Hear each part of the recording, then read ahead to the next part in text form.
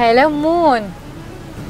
شوفوا يا عود باكر نبي نروح مطعم بس أنا ما أبي أي شيء أبي مكان clean food و fresh يعني شيء شغل عادل أحس Deboned خيار زين. Deboned؟ هاي مو كنا في الكويت؟ Deboned عندهم عشر فروع بالكويت والحين صاروا موجودين بالبحرين بفرعين. فرع بالرفاع وفرع بالبسيتين الأكل كله clean food fresh من شركة اليوم مبرد من المراعي. طبعا كل شيء يحضرونه يوميا حتى الصلصات والسلطات. كل شيء تشوفونه عندهم fresh والأهم ما ننسى إنه خالي من العظم. أنواع الدياي عندهم العادي وال spicy وبالأعشاب.